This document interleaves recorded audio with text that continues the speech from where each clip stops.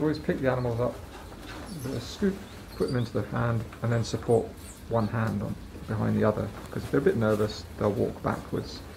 Um, but broadly speaking, they're nice and tame and happy to be handled.